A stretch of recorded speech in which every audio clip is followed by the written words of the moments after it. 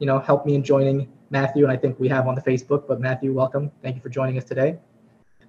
Happy to be here. Very happy to be here. It's lovely. Everyone's been super nice. Thanks for such a warm welcome. I think they're nicer to you than they are to me, but you know, the time will tell. I'm not right? salty about it, but I'm just saying. Uh, okay, so we have a lot of questions today, which is going to be fun to get through. And I think we're going to try the same format we did before, which was we'll take some of the questions. Me and Matthew will both dive in deep with you on them, talk about some different things in our experiences. And then at the end, just to try and get through a lot of questions, we'll do a hot take session where we can only say one sentence about each question. So to start us off, I wanted to actually ask Matthew two questions of my own, which hit me. Let's go. Nobody else asked, and I think they're important questions. The first one is, Matthew, if you were getting into a career with Touch Designer now, what's hmm. your one tip to people for building that career, starting that career, or upgrading that career? What is what's your number one tip? Number one tip. Oh, ah, oh man. You know, I think the I think the number one tip I would give people is to remember that in this industry especially, it's all a magic trick.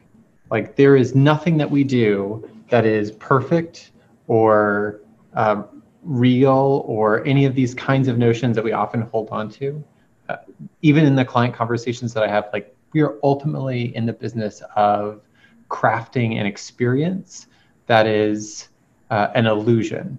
And so if you have to beg, steal, or borrow your way to get there, then that's what it takes to get there.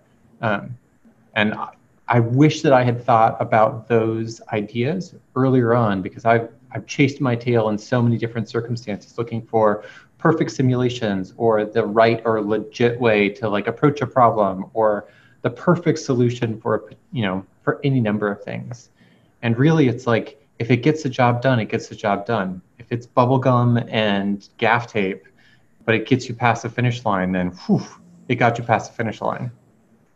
I think that's pretty good advice. And, and I have a funny addition, which I wonder if you've started doing, is asking people why we're even doing things in real time. This has been like the last three years of my career has every time someone says, let's do something, I'm like, well, what if we just render most of it? and then we make some parts of it in real time. Did you have the same experience, like revelation wise? Yeah, I mean, I think I, I started with the notion that like, oh well, we have to like. I wanted to do all of it in real time. Like it, it's going to be all perfect and all generative and all this all the time. And then the more that I fought with that, the more I started to kind of encounter, okay, well, you know, that's a beautiful dream. And I, I wish that we could do that. But, you know, the realities of, of the world are like modeling is hard, expensive, and laborious. And really good, clean models are not cheap or easy to make.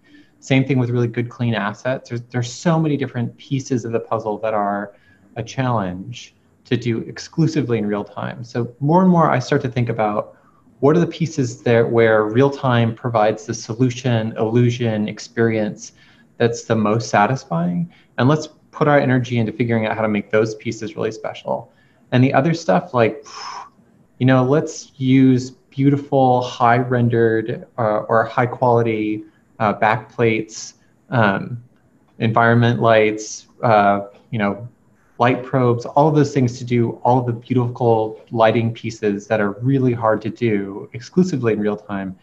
And like I said earlier, like it's a magic trick.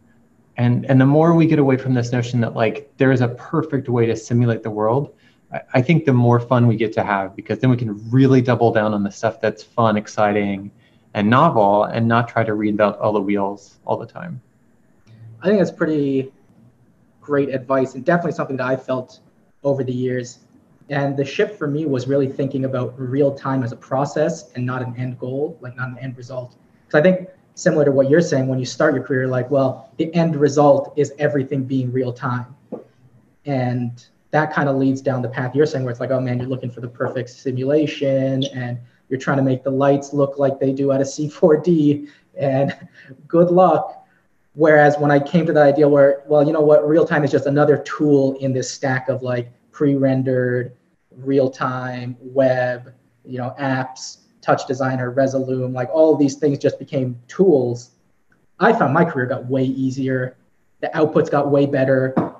I mean, by that time it was like too late to stop the retreating hairline, but you know, I wish if somebody else listened, then you know they would stop going bald a lot quicker. Oh, yeah, hundred percent. And that I, I think it's really just about figuring out where you got to double down and where you can shave off time, frustration, and the whole like right because like we have this notion that the world is real time, but like you know you're not watching a building get assembled in you know three frames or anything like that. It's not like you're constructing the world.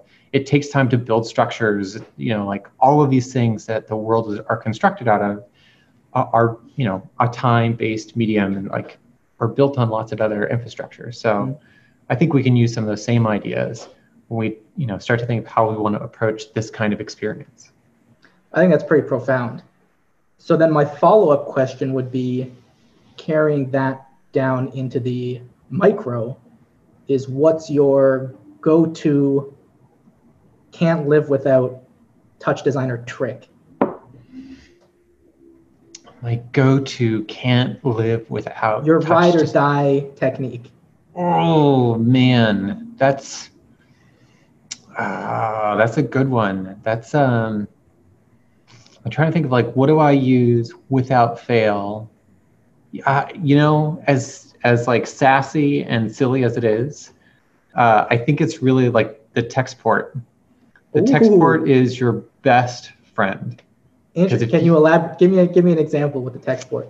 Uh, because I feel like the text port is, if you have nothing else in Touch Designer, you can find your way to operators, you can debug a problem, you can interrogate a value, you can change a parameter. Like, if you can get to that text port, you can probably make that thing do something or figure out what's gone terribly mm-hmm. wrong because Lord knows things go terribly wrong all the time. So I feel like the text port, oh, and I hate to say this, but delay scripts, like those things, oh. I wish I could get away from them. but sometimes waiting one frame makes all the difference in the world. Yeah. So I feel like between those two things, it's like master your text port and you know be ready to figure out that you know one frame wait you've got to you've got to add to some stupid script for a silly reason and dan had a good one he said nulls i think nulls are pretty amazing also. I think my my hilariously boring one would be uh, like the expansion you know in the square brackets like channel expansion oh yeah. pattern matching. You could get some real tricky stuff done with pattern matching and channel and like the expand string expansion, I guess is the correct term. Um, and if you haven't checked out that stuff before, for your reference, you can go to. Let me actually, if I open up the wiki here for you.